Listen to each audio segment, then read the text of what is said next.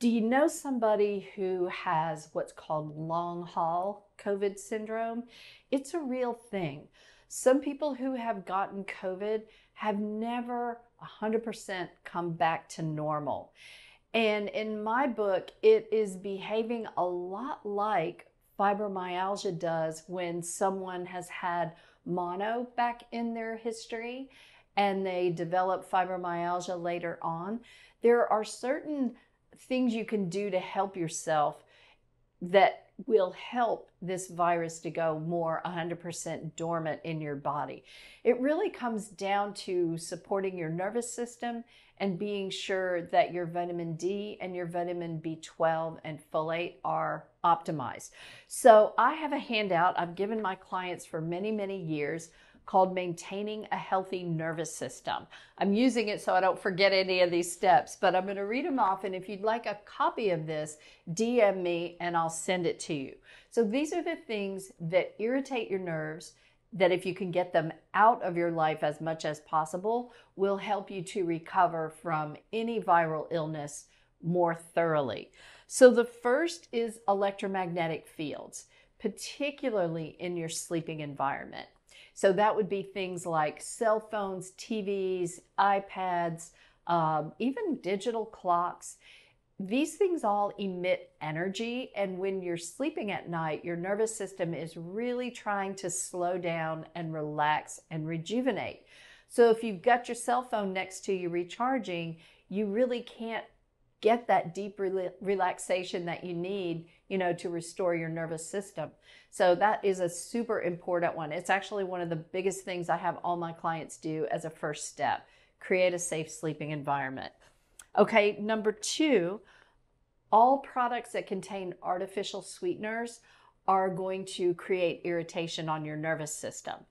I just was working with somebody um, yesterday who you know, doesn't use diet things and sugar free things, but unbeknownst to them, had started an electrolyte drink for working out and it had sucralose in it.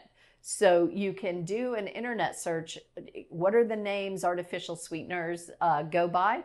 And then you can, you know, discover for yourself. But all of these artificial sweeteners are nerve irritants.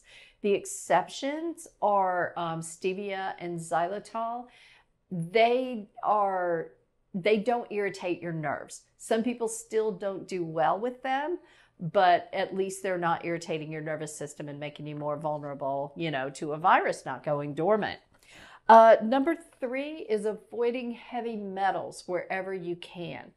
And thankfully, we don't have as much exposure in our environment as we used to. You know, when I was growing up, we had lead in the paint, lead in the pipes, lead in the gasoline you know, we they filled our teeth with silver fillings, you know, that were about 50% mercury, et cetera, et cetera. But you're still going to get some exposure in the modern world. Um, aluminum is a big one, aluminum cans, aluminum in your deodorant. So you want to avoid heavy metals as much as you can and then do regular detoxification to pull these things out of your system.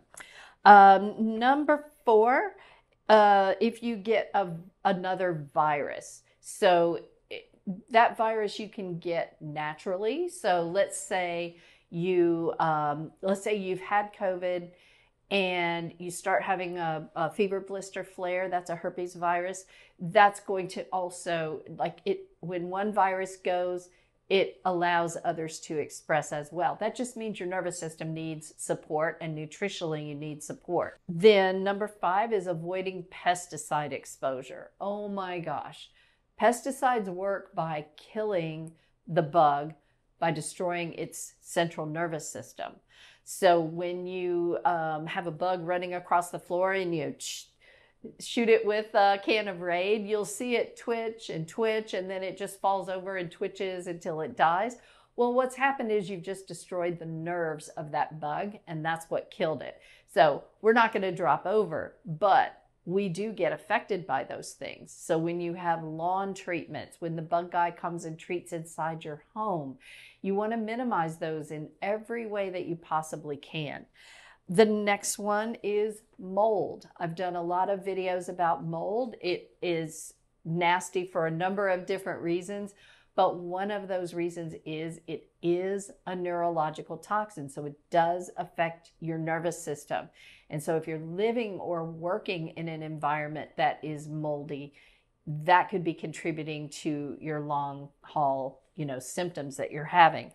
Now, from a nutritional standpoint, vitamin D and vitamin B12 are very, very important for your nerve function. So, your vitamin D should be between 60 and 80 on a blood test, not just in the normal range. Like normal goes from 30 to 100. You want an optimal range. You can test your vitamin D. It's super, super easy. You can ask your doctor to do it at your next checkup, or you can go to directlabs.com and order a vitamin D test yourself. It's very inexpensive. But getting that level up to the 60 to 80 mark is going to be very protective. Now, vitamin B12, you can also order that blood test. Vitamin B12, you want to be at the very top of the normal range. So there's there's optimal ranges in, in these different tests. And for B12, you want to be at the top of the normal range. All of those are factors that will allow a virus to continue to wreak havoc on your body. And so the more of them you can handle, the easier you can heal. There are other things you can do as well that I'll cover in a different video, but those are the basics. You can take all the supplements in the world, but if you're sleeping by your cell phone, spraying your house with pesticides, cooking in aluminum cookware, you're setting yourself up for failure.